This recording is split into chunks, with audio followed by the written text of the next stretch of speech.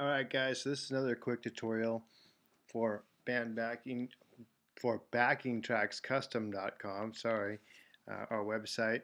Um, if you're using tracks from us from Ableton, uh, this will show you how to change how many count-ins you have on your click and your cue track. If you um, are doing this on your own and you're running sets kind of like how we have them set up, for more information on that, just go to the link in the description.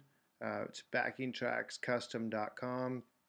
You can go over here and click on our tutorial page and see how we set our tracks up, kind of get an idea. But this is mainly for people using our tracks to show you how to uh, make your click track and your count in track shorter and easy. So what we're going to do is you're going to go over here and go over to Ableton and we are going to start a song.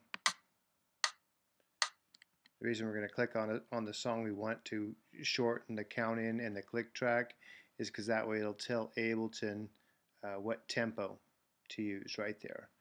So now we're going to go over here and we are going to click on our click track right here. And then we're going to come right down here this little um, box where you can see the click track in here. Just go up to the top where you see the little uh, microscope glassy thing and just click down and pull. And if you click right on top of this it'll pull right in that area. And now you can see here we have you know our click one two three four. What we're going to do is we're going to take this little backwards arrow and we're going to pull that down to this one right here. Because we want to take away oh I'm sorry. We want to take away four counts at least the client that me the question wants to take away four counts.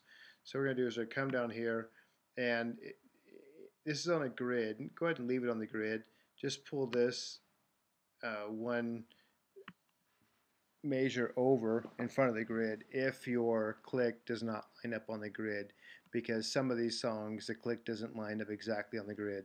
If it does line up on the grid, just pull it to where it's um, to where it's lined up on the grid. If it don't, just pull it off one um, part of the grid until you see until it's lined up uh, you know the next little line there. Then you can come over and grab this little arrow and we're going to move it right to the exact same spot right there. And then what we're going to do is we're going to go over here and you can see right in here where it says uh, start and then end. So you can see now it says start at 2 four, four. Yours will be different depending on where your song starts at. But this song starts now because we move the start playhead on the click to two, four, four.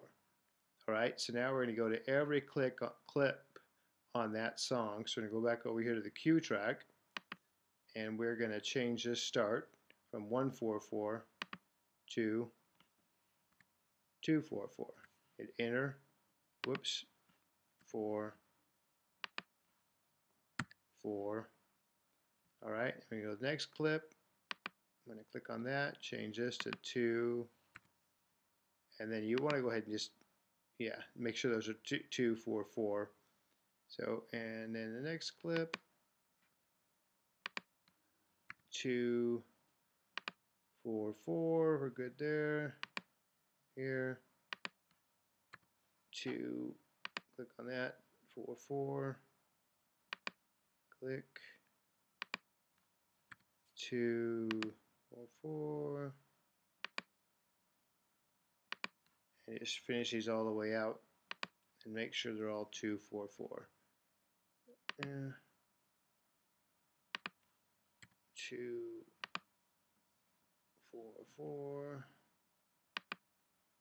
Or whatever your number would be but like I said before the ours is 244 that we're working with all right, so now these clips are all moved into 244. So we're going to go back here and just kind of make sure, click on the count in, it's at 244, click is at 244, this one's 244, 244, 244, 244, 244, 244, 244. Now we should only have four counts and then the song will start.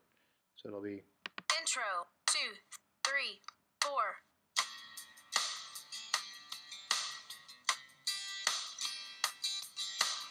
And then you just hit stop, save your set, and it'll stay it'll stay that way. So yeah, that's if you're wanting to shorten your click to either you know just four count ins, or if you want to change it to no count ins, where it just starts writing the song. You can do the same thing by just moving this up.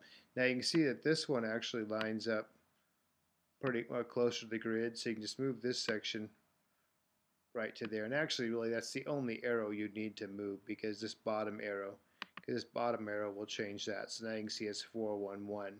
So now what you would do is go through and change all these clips to 411 in this start area.